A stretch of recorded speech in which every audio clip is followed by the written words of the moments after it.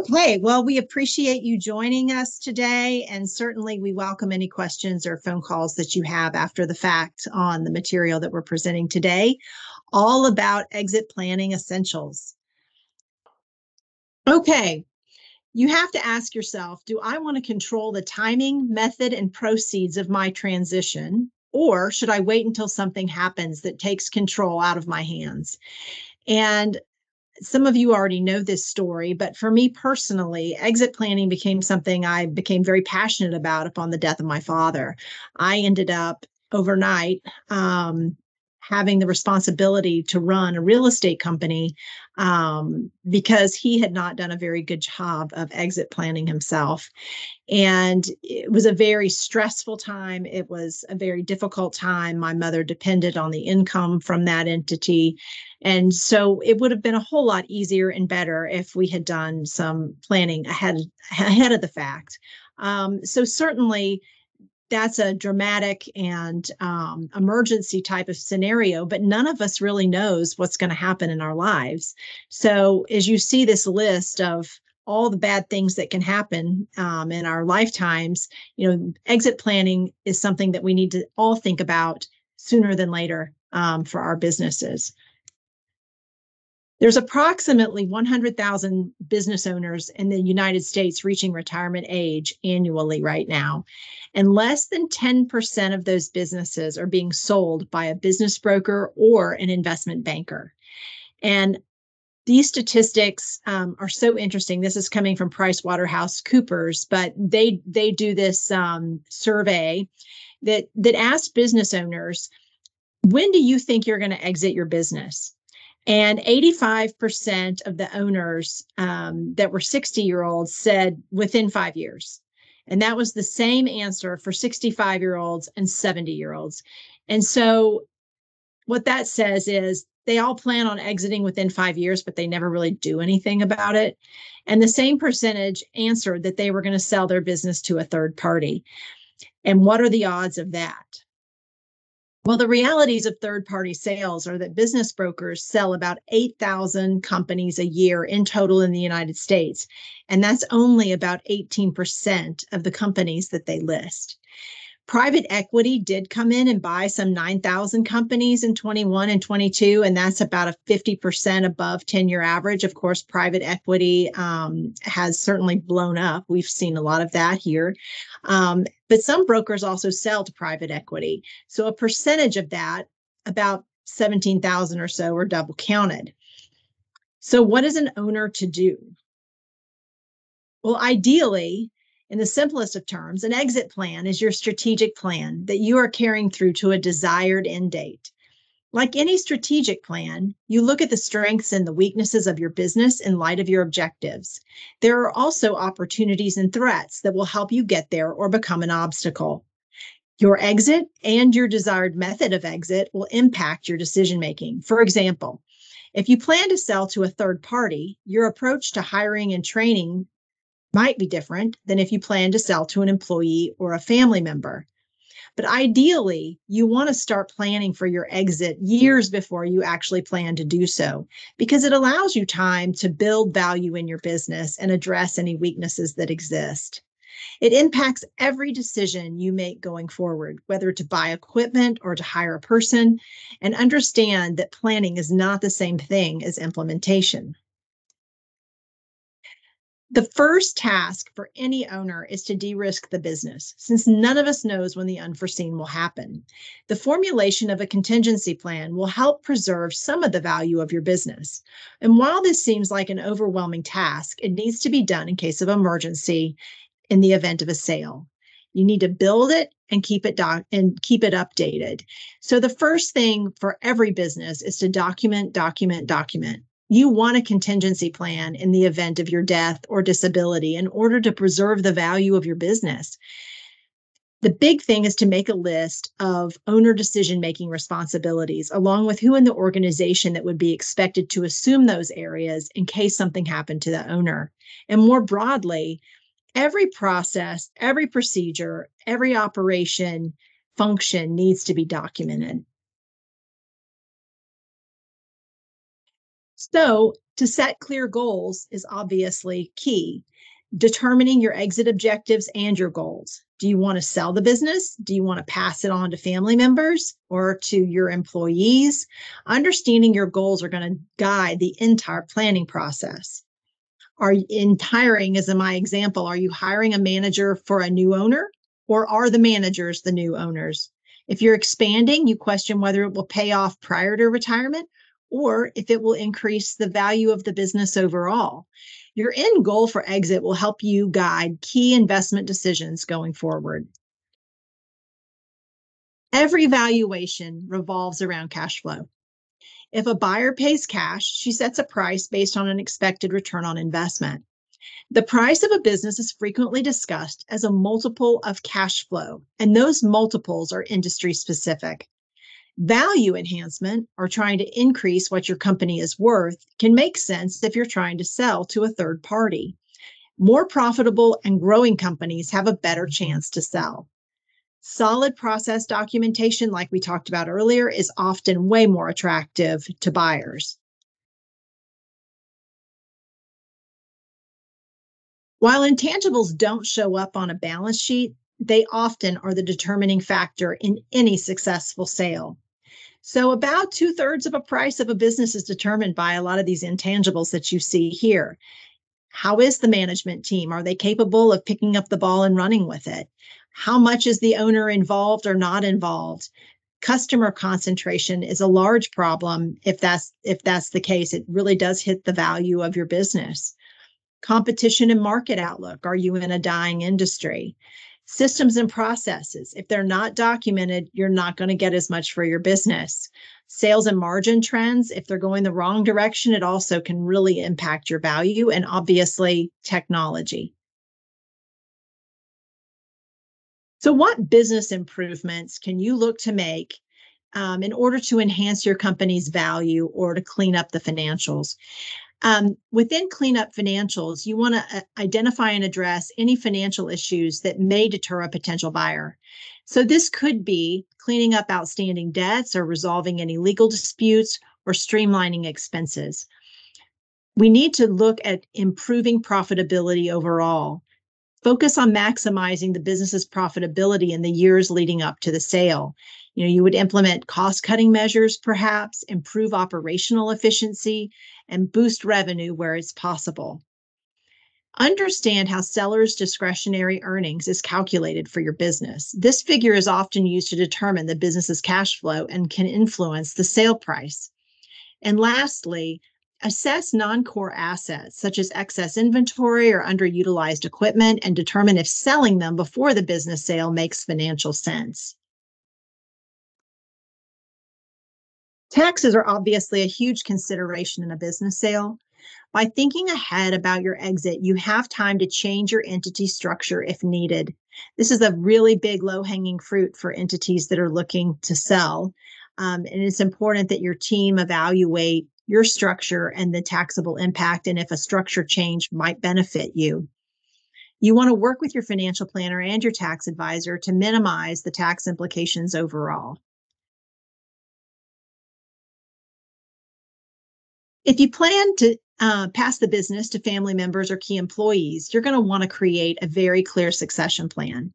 This includes identifying and developing potential successors and ensuring they are prepared to take over. There's years of training that go into that to make sure that you can pass the baton smoothly. And remember, the written documentation of your business, that's just key. Your internal and external stakeholders need to be communicated with before a big transition, no matter how you're transitioning the business, internally or a sale. So, an internal communication plan is important so that the confidence in the new ownership, you know, it can significantly impact the success of the transition overall. You want to develop a plan to retain your key employees during and after a transition. Their experience and knowledge can be critical for business continuity and last but not least, a customer communication plan. It's important in retaining key clients and referral sources. Ensure all your legal agreements, contracts, leases are up to date and will not pose obstacles during the transition. This includes reviewing any non compete agreements. Sometimes there's language in our legal agreements that we don't realize might impede our ability to sell or to transition equity. Be prepared for the due diligence process that a potential buyer or successor will undertake. You're going to need to organize all of your financial records, contracts, client data, and any other relevant documents for easy access and review. Some business owners may regret selling their business because they miss the sense of control, purpose, um, or identity that comes with running a company. And others may regret the sale if they believe they sold too early and missed out on future profits.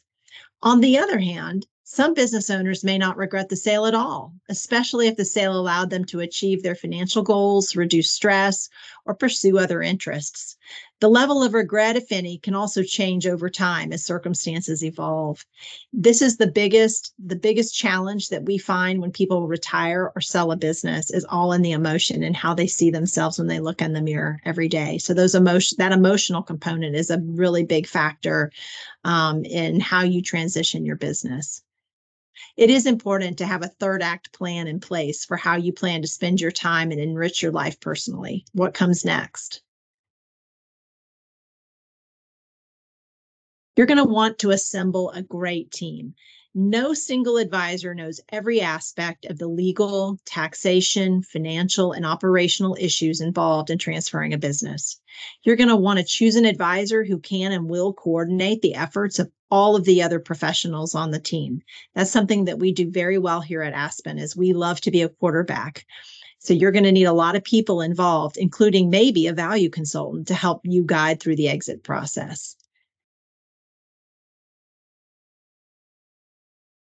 Here at Aspen, you know, like I said, we quarterback for our clients every day with multiple allied professionals.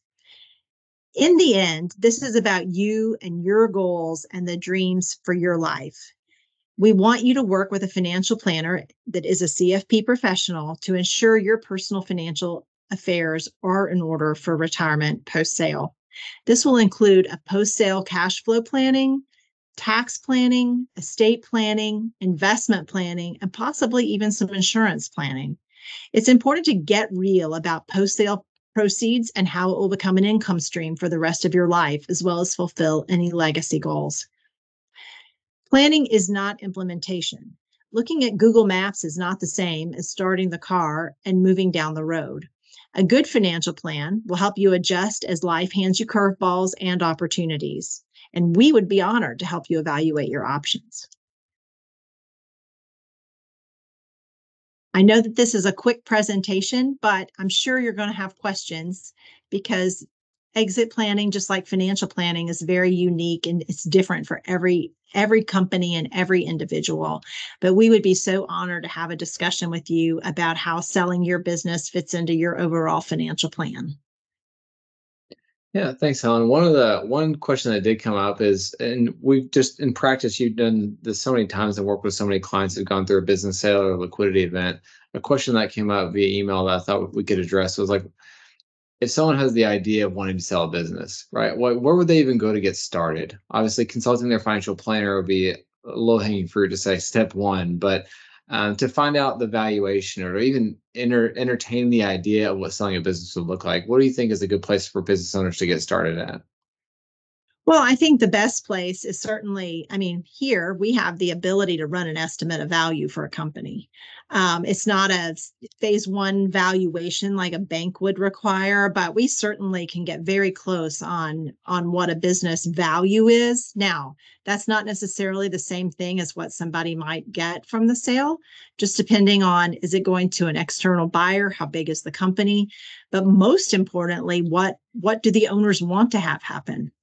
Um, I don't know any business owner that is happy with the estimate of value that they receive. Every business owner loves their business so much and they think it's worth a lot more than generally it comes out to be. Um, but depending on what the owner wants to do, Jim, whether it's an external transition, internal transition, then we can bring in the business broker if necessary or bring in an investment banker if necessary um, or help start crafting a plan to move equity down the pike. Yeah. And then on that note, what are what are for the average business owner out here? They're watching this or watching a recording. What are um, in your experience some things that you've seen that business owners? I know we often talk about some business owners they they run their business like an ATM machine, and some business owners kind of run their business for a point of sale down the road. So for the business owner who may have had a lifestyle business that they treated as kind of their personal ATM machine, they run their family's cars through the business, they run all their expenses through the business but they realize, hey, I, do need to retire at some point in time. Maybe I need to get my business a little more primed and ready for sale down the road. What are some opportunities you think for the average business owner to think about as they make that transition from having kind of a lifestyle business to a business they actually want to sell down the road? Yeah, that's a great, great question. Um, that goes back to that seller's discretionary earnings on the cleanup page um, the first step is you know you want to boost your profitability right ahead of sale. So the best thing a business owner can do is clean up those financials and quit using it like the atm machine. It's one thing to have a business pay for an automobile or something like that. It's another thing if people are you know going out to eat and it's really not a business expense and running it through their business. I mean all of that just needs to stop. I mean personal expenses should really not be run through the business and and it's going to boost the bottom line line to a potential a potential buyer. So it's going to make the company more valuable to have, you know, stronger cash flows eh, standing on its own. Yeah. And then the last question I thought could be beneficial for some of our business and our clients. Um, from a, the interplay between being a business owner and estate planning, what are some maybe like food of thought or words of advice for people who are considering like how a business would flow through to their estate plan for maybe if they have let's say they have their their kids involved in the business or maybe they don't have their kids involved in the business what are some maybe things that you've unfortunately seen people not prepare for as they've considered like how their business interweaves within their estate plan? Well depending on the formation of the business and how it reports itself for tax purposes if it's an if it's a standalone entity let's just say like an llc or an s corp or a c corp um, one of the biggest gaps that we see is that nothing is mentioned about that in their estate plan at all. So it's just left twisting in the wind. Um, and it's one of their biggest assets. So, um, you know, certainly making sure that the estate plan is updated and it, the entity is at least considered in the overall estate plan is so important. Yeah. Well, thank you so much. I know this will be helpful and a lot of folks will enjoy either today or through the recording. So thanks for taking the time to put this together, Helen. Of course, I, I know it was quick, but um, you know, again, we'd be very happy to help. Do you have anything to add on the estate planning piece, Jim? No, I, I mean it's. I think you already hit the nail on the head. It's um, a lot of clients that we meet with. In my experience, you know, like you said, the biggest part of their balance sheet is their business, and then it's it's a natural you know, I think we're all bullish on our own, you know, ownership and business interests, but it's a natural question to assume, you know, we're all going to live to 90 or 100 years old. But I think it's important for folks to consider if you own a business and that you were to get into an accident, if, to, you know, we didn't get a chance to see tomorrow, what would happen to your loved ones? Like, what would happen to the business itself? More importantly, what would happen to your loved ones behind? Would do they have the will, skill, and time? Do they have the means to take over that business? Um, and so I just think it's really important to think about if you do own a business, it is your primary source of income for your family. What would happen to that business in the event of your passing? You don't have to necessarily have that answer today, but it's really important to be mindful of that as you go about your estate plan and think about your loved ones. And I think you've you mentioned at the very beginning of the presentation, some people think that giving their kids, you know, a, a business could be a blessing, and it may be for various reasons, but it could also be a burden if it's if it's not done strategically and without their consideration. So that's the sure. only thing I can really add. Yeah, I love that. That's that's great food for thought. And certainly that comes into play with the insurance plan, right? Yeah. Awesome. Well, well thanks.